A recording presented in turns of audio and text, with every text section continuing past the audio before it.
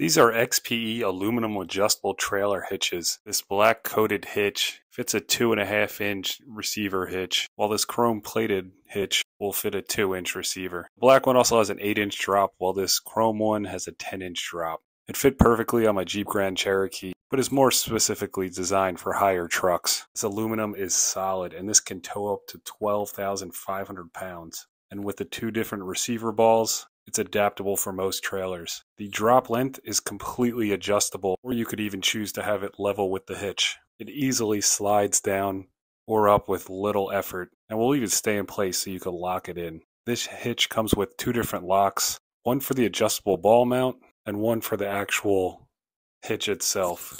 And they both use the same key so you can access them easily. The polished aluminum on this not only looks great, but it's extremely functional. And with its high towing capacity, you can pretty much get any job done. I think these hitches look great, function well, and are extremely reliable and high quality. With the two added locks, you get peace of mind knowing that your trailer is going to be there and that your cargo is safe and secure.